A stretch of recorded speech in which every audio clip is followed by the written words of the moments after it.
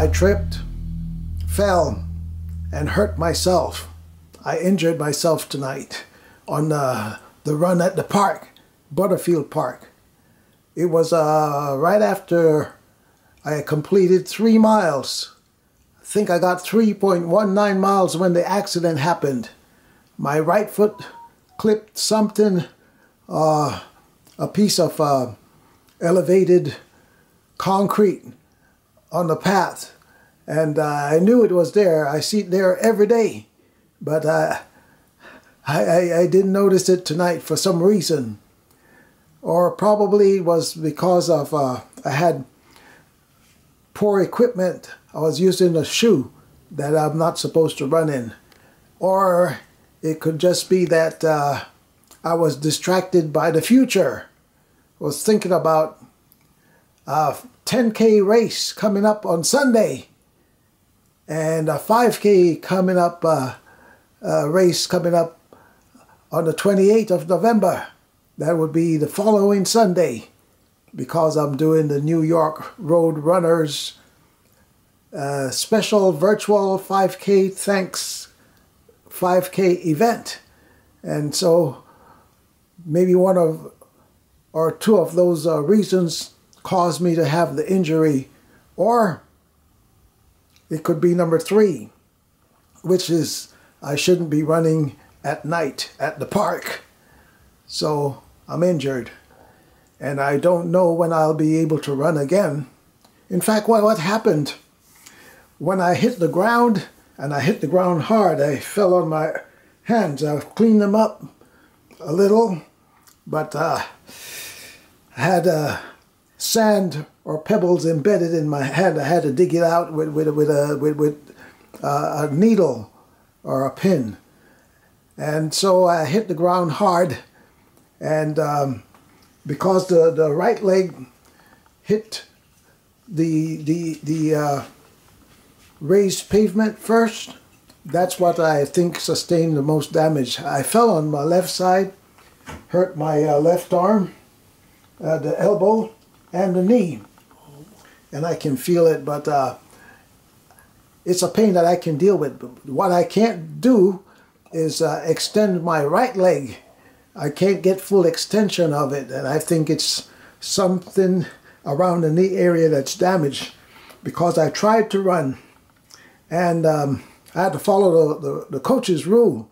Bruce Robinson always said if uh, you have to limp when you run or you're limping when you're running, then, then you should not be running. So I was trying to run and I noticed I was limping badly. And so I, I, I, just shut it down.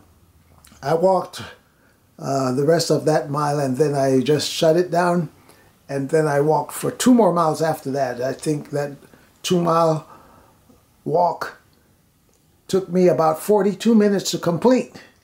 But I just had to fill out the time that, that, that was the time I would have been using to, to complete my 10 mile run in total. So I just went ahead and walked. So tomorrow is Thursday. I may be able to do something Thursday, but I'm not counting on it. After I clean myself up and uh, get some neosporin or equivalent uh, antibacterial um, cream, then I'll get some rest tonight and see what it feels like tomorrow.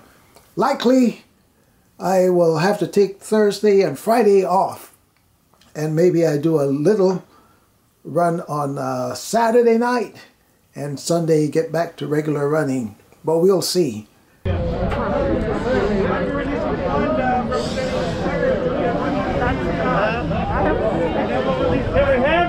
Attention, please? They're trying to release the dog.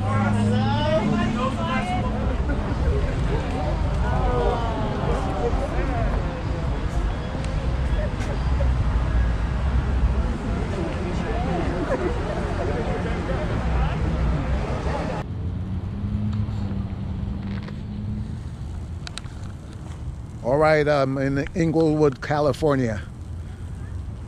Yeah, just uh, came out of a funeral service for Sister Webley, Julia or Julia Webley. And I'm thinking I may try walking tonight. And if the walk is doing well and uh, the right knee is feeling okay because I know I hit that right knee, I can feel it. Uh, oh boy, if I can uh, jog a little bit, I'll do so. So it's all depends on what the body will do. But I'm no, in no rush to do anything drastic uh, coming back from injury. Always go slow. Don't want to lose any fitness. And that's the uh, tragedy with uh, for a lot of runners. They want to do too much too soon, get back where they left off without allowing the body to heal. All right, time to heal. Slept okay last night. Didn't get enough uh, hours as I uh, was supposed to, but we'll get some more hours tonight.